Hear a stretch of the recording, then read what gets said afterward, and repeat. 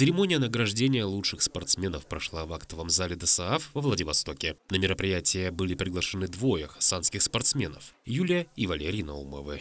По итогам сезона юной мотогонщицы Юлии Наумовой удалось подняться на третью ступеньку пьедестала в Кубке Приморского края по мотокроссу, а Валерий Наумов смог доехать до третьего места в чемпионате Приморского края. Напомним, хасанские спортсмены этой осенью приняли участие в трех соревнованиях, которые прошли в Дальнегорске, в Славянке и в Уссурийске. Славянка встретила спортсменов и болельщиков туманом, а из-за обильных осадков трасса была довольно грязной. Но настоящих спортсменов ничего не останавливает. Даже самые маленькие гонщики рвались в бой и преодолевали глубокие колеи. Все участники от мала до велика подарили болельщикам незабываемое зрелище, порцию адреналина и радостные эмоции.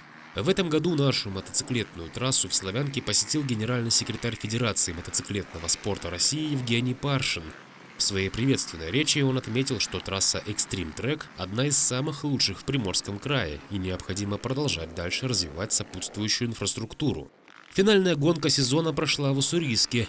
На спортивное состязание съехались спортсмены Приморского и Хабаровского края, Якутска, Петропавловск-Камчатского и Благовещенска. Борьба была серьезная и жесткая, ведь это были последние соревнования, которые могли бы изменить общие результаты всего сезона.